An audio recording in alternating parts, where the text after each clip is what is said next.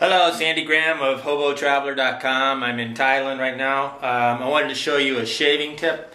Um, really hard to carry an electric razor. I, I don't know what they always kind of break in the backpack or something, but uh, I like to have shaving cream, but it's really tough to carry. I use Pantene shampoo when I can buy it. If I don't buy the black stuff, I got actually colored thing. But the thing is, is that when you're carrying, uh, I, I, actually found this little dinky uh, bottle of Gillette uh, spray, and what I do is I take the lid and I take uh, this is uh, what do you call it, electrical tape, and I've taped the lid on. Okay, now the reason why this is is that, and then what I do is I I'll tape the extra piece of tape up there in the on somewhere and hang it this this lid will pop off in your backpack, and there's nothing uh, nothing worse than this stuff going off. Now I, I don't know why I, I I'm not sure if I'm supposed to carry this in a check bag on a plane or not. I usually don't carry one of these in a plane, but if if I have one of these, I do buy one and uh, carry it in different countries. But I normally tape it shut between between destinations. Uh, I suppose if I was only spend one night, I might use soap.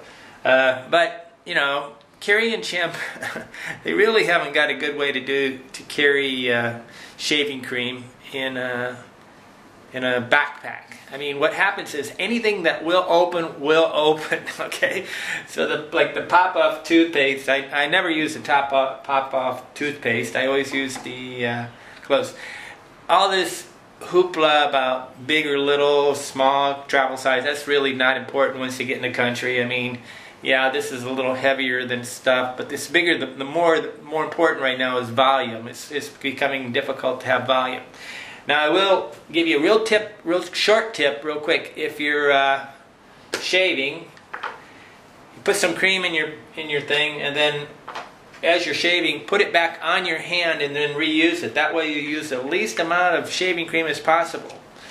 Uh, and if you're shaving out and you can't see yourself, it's a little better too because you can keep rubbing your face and seeing if you need it shaved. And you, you know, a lot of times you don't have a mirror. Um, I have a mirror here, but I don't have a light. So, uh, I mean the light's over there. I have many ways to add a light here, and I'll show that too later. But uh, I'm going to shave and just a little tip, just a masking tape. Do not use any other tape except um, electrical tape because it will stick too difficultly. You won't be able to remove it easy. I mean, definitely don't use duct tape. And, you know, masking tape's not going to work, packing tape, all these things. You need um, electrical tape because it actually will be, you can put it on and take it off, put it on and take it off. Okay, Andy, Hobo Traveler in Thailand, trying to show you a shaving tape.